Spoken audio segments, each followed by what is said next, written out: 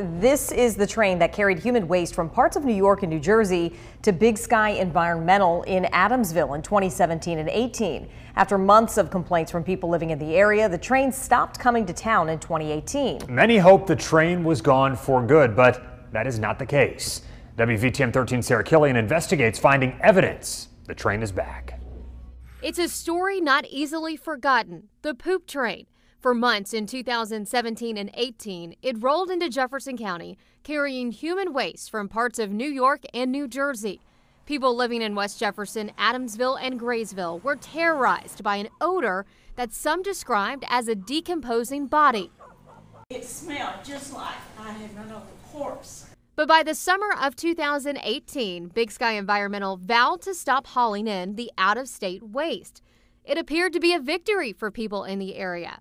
But West Jefferson resident David Brasfield had his doubts. Really, I really never thought it was gone because I knew that uh, that Big Sky was uh, very aggressive at getting this, this waste into this area and, and making the money they're going to make off of it. And Brasfield was right. For the last few months, he's heard rumors about Big Sky Environmental building their own rail spur on their property.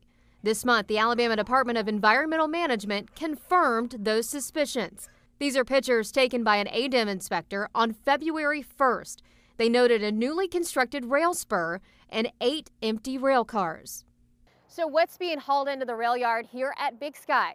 Well, documents show it could be that out-of-state human waste. Since November, at least three different wastewater facilities from New York and New Jersey have received permits to dump their waste here at Big Sky.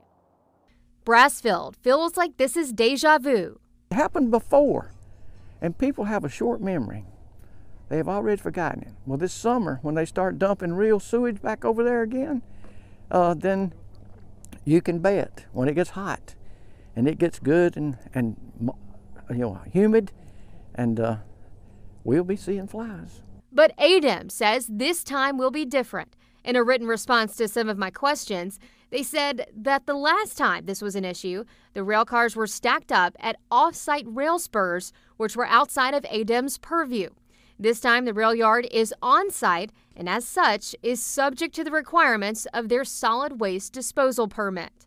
But for Brasfield, this isn't good enough. He doesn't want to see this human waste brought into Alabama at all just fed up with, with politicians of all levels. No state should have to be forced or allowed to take sewage from another state so they can profit in this state.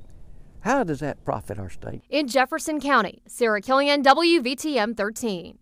This rail yard is not included in Big Sky's solid waste permit. ADEM, ADEM did notify did notify the landfill that they had to cease operations until a modification could be made. ADEM is currently reviewing Big Sky's application.